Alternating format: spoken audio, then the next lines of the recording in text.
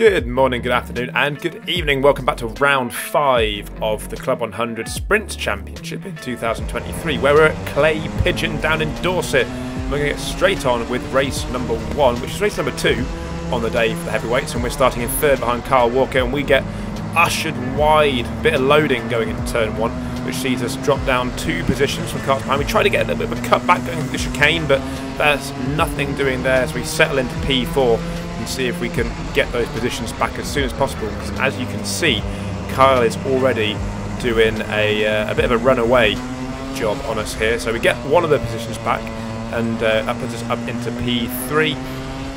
We're now behind uh, one of our other drivers that came through on turn one. We're going to see if we can dispatch them as quickly as possible. Get a little bit of a better run coming through the last corner, um, but not quite enough to get alongside. It was a really windy day at uh, Clay Pigeon on the Sunday. Probably not quite as windy actually as the Saturday, but still pretty windy. So the tow was really powerful. Driver in front takes too much speed going into the first corner, and uh, we're able to keep that nice tight line going through turn one and two.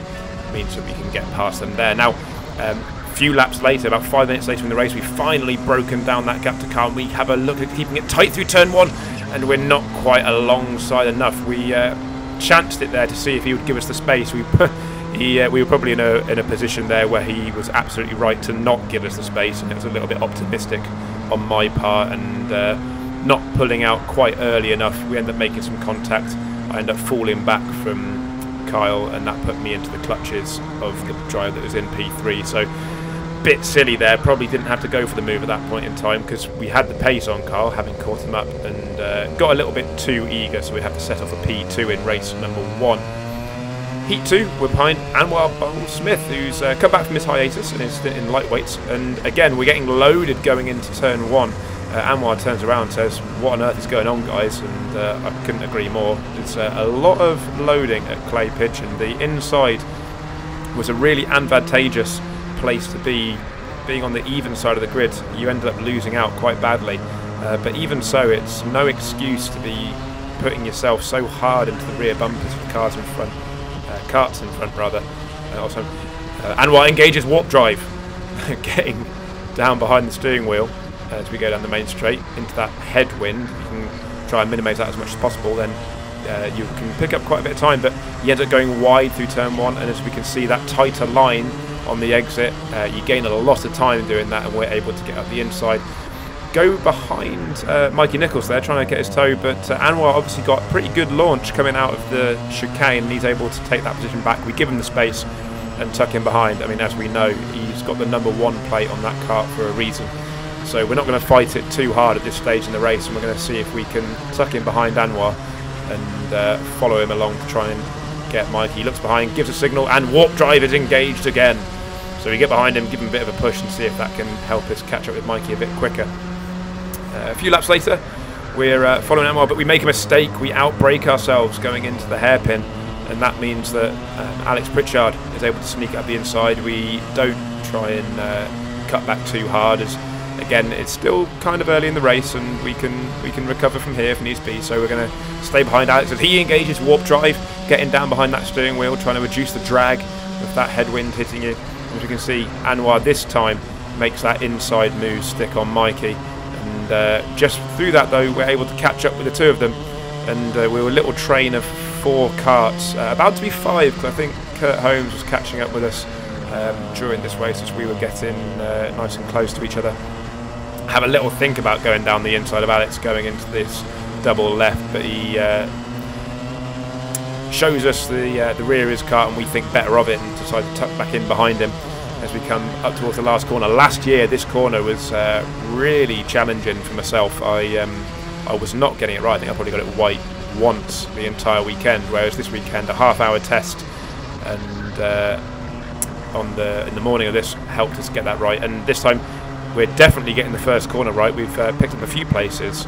Uh, over the course of the weekend there just by keeping it tighter so a mistake for me where Alex gets past and then a mistake from Alex where I'm able to get past on him and that puts us into P3. Now we're having to defend going through these corners because obviously we're very close to each other and we don't get the best run coming off this double left and probably a bit absent-mindedly go to take the normal racing line going into this last corner.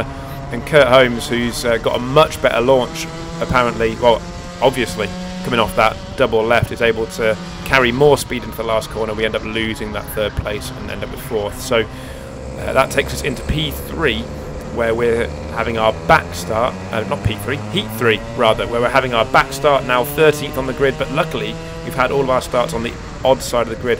We uh, get caught out a little bit by the driver in front, braking maybe a little bit earlier than necessary, and uh, after a little bit of a tap in the back, we have to move to the left to try and avoid um, further contacts through the chicane. It gets a bit clumsy with all the cuts around us. We're able to cut underneath though and get one more place as we go towards the hairpin, and uh, we're not quite able to carry that speed. I was maybe a little bit optimistic trying to chance on there, but we do um, secure one. Going into the first corner though, runs wide. I'm able to keep it a lot tighter, and that's another position going into the chicane. You can see there Adrian Ray getting caught out by a slow cart in front. We're going to stay towards the right hand side, and we send it from uh, Christmas 2016. And luckily, uh, Adrian spots us coming, gives us the room, and uh, that's another position off the start. So a pretty a pretty good start from uh, from 13th on the grid. We're working our way forwards, tucked up behind the cart in front already as we go on towards the main straight. And uh, I'm thinking here, let's see if we can push him along. If we've got the pace going into turn one, uh, might have a move, but otherwise catch up with that group in front who are still close together. But again, wide at the first corner, tuck it back, and this one just managed to squeeze it up as we go through the chicane. It was a bit of a last move, uh, last gas move going through the chicane there, and uh, I don't carry the best line through it, running a bit wide and losing momentum, but I was able to secure the position off, and we've caught up now with Andrew Wright, who uh, I'm uh, Adam Wright, sorry, not Andrew Wright. Um, I don't think it's called the best car in this one. He seems to be struggling a little bit and goes a bit deep on the exit um, as we go through the hairpin and we're able to cut underneath. That'll be a, a move that we remember for later. Um, a good cutback move going through the hairpin. And then um, Adam was still on the inside going through the double left, but I was able to carry some good speed around the outside, and that was another position gain. So at the moment, we can see the leader in front of us. The uh, the carts in front are nice and close. And here I tried it round the outside. The driver kept really defensive going into that first one, but no, nothing doing there. Definitely the inside line was better, but goes for a move on the cart in front and gets it all wrong. We can't quite slow the cart down enough, and we tap into the back of them. But in the in the mistake that was made by the cart in front, they both end up really slow, and uh, I end, end up able to cut underneath. And so two positions gained in one corner thanks to the mistake from the driver in front. Now a few laps to go. And again, it's this first corner move, keeping it tight, really advantageous at this clay pigeon race circuit, and that would put us up into fourth place. We can see the leader just going through the hairpin there. So having started 13th on the grid, um, oh, bit of a mistake there actually, going through uh, the hairpin. I forgot about that. The um, yeah, outbroke myself going into that corner, and that got a little bit nervy for a moment because there was no real need to push that hard going into the into the hairpin, and uh, that opened myself up for risk. But luckily, we're able to uh, secure uh, fourth place in that race as we move on to the A final, where we'd now be on the even side of the grid, that dreaded uh, even side. Now, the first start of this was false started, lots of loading going into the first corner, and I think rightly slow race control was absolutely like not a chance, boys. Let's uh, let's try that again. So this time going down towards turn one. There's uh, a lot, a lot better behaved from everybody. We're stuck on the outside, trying to get over towards the right, but nothing doing. We've got Miguel Hall inside of us. We have to give him the space as we go through the chicane, but it's uh, a much better start from the uh, heavyweight A final boys there, and we're able to slot into ninth place. I think I am at this point, as Miguel has a little think about trying to go around the outside of Kurt there. Uh, nothing doing, and he comes back across us to defend that position. So at this point, settling into uh, the start here, trying to get a gauge of what could be happening in this race. We've got uh, Kyle Walker, who's uh, started on second, had a really good set of heats, the car in C2, but um, not the best of starts as he's dropping down the pack. But we're caught out there by a yellow flag, meaning we can't follow Miguel as we go through that first turn, and uh, we're behind Carl for a few more corners. So as we come down toward the hairpin, seeing if we can make uh, or take advantage of Kyle not getting the best of starts and not having the best momentum, and we're able to cut underneath coming through the hairpin. Keep it a little bit tighter as we're about to go through the double left-hander, and that's another position gain. So we're in net um, class two position two at the moment uh, on the road. Uh, I believe seventh or eighth overall. We have a little bit of a think on Miguel going uh, into towards the chicane, but he keeps it just tight enough to get a, uh, a good exit and a good launch towards that left, uh, right left chicane as we come in towards the hairpin. He's uh, doing a good job so far of keeping that cart nice and wide, making it difficult for us to try and get past. Because I, I felt like I had a decent amount of pace on Miguel, but he's doing a really good job at this point of keeping the cart in the way as we go through the chicane. Left, right, maybe catch a bit, a bit too much curb going through the left, and uh, that sends him wide over a horrible sausage curb, which really hurt your momentum. We're able to go left, and um, as we went towards the hairpin, Miguel tucked in behind, recognising that the uh, the battle wasn't worth fighting at that point in time, and uh, seeing what we could do together as we chased down after Alex Pritchard. And uh, we are now up into the lead of C2 and sixth overall on the road with some quick boys in front that we're going to have to race a very clean race, which is not what's happening there. A bit of a mistake going into turn one. Luckily, able to get the cart slowed down enough to the point where I don't run out too wide and invite Miguel to have another go at us in a similar way to how I've been doing on uh, quite a few people up to this point. Jump forward a little bit.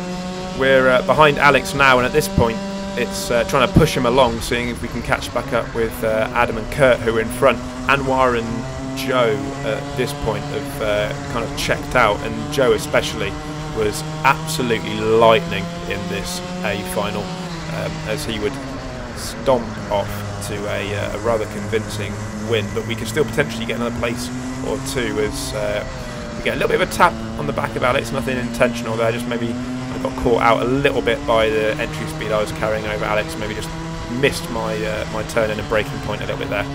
But uh, no harm, no foul. Still in front, and we're going to see if we can catch up on Adam. Now, at this point, I was kind of hoping that I could uh, catch Alex's eye who's turning around. So I felt like I had the pace on him a little bit, and uh, if we could have swapped positions here, might have been able to catch up with Adam a little bit quicker, and then if we hadn't have done that, I'd have offered the place back to Alex uh, to um, see if he could pull us along there. But uh, at this point, wasn't able to do that, so we had to go around it the old-fashioned way and see if we could either push him along or make the move ourselves, and then make our way towards the uh, fourth and fifth on the road as we're towards the definitely the last leg of the race now. We're still on Alex's bumper, and we've been getting this last corner pretty good at this point. And again, as we come through the last corner, get a really good launch. I think now's the time to go.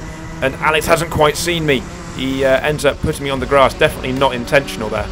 But uh, we lose our momentum, and it was uh, a bit of a ride going up that grass. Got a bit of a kick and airborne for a moment. You don't really quite see it on the camera, but it was uh, a bit of a heart in mouth moment. But luckily, didn't lose too much time out of it and uh, Alex telling me to think there, look forward, and we'll be doing exactly that, having a good think about maybe where I can get past him. Through the last corner on lap 15 out of 16, about to go on to the last lap of the race. Alex looking behind, trying to work out where we are. Definitely going to tuck in behind him because this is not the best place to overtake going into turn one. We want to try and do it going out of turn one, but Alex is wise to it, keeps it nice and tight. And as we go into the chicane, we're trying to think about getting the best exit that we can. Not good enough to be able to launch out the inside going into the hairpin, but we think about maybe a good exit. Alex gets it a bit wrong, goes deep, and I cut it underneath and can't quite squeeze it too far towards the left. He's still got his nose in, so we leave a little bit of space. And this time, having learnt about what happened earlier with Kurt, I'm going to keep it a little bit tighter as we go in towards the last corner, turning in a little bit earlier to cut off that move from Alex. And that would be fifth place on the road, a C2 win. As we can see, Kurt having a little bit of a lock of the brakes, maybe felt like he could have done better in that race uh, to not let Alan. I'm so sorry, Adam. I keep getting your name wrong in this video. Uh, Adam Wright, maybe Kurt thought he could have uh, stayed in front of him. But there we go. C2 winner for uh, round five. I've written round four there. Everything's going wrong in this video. Um, round five of the Sprint Championship at Clay Pigeon. And we will move on to Lydd next time. But until next time, thank you very much for watching. And as always, have a good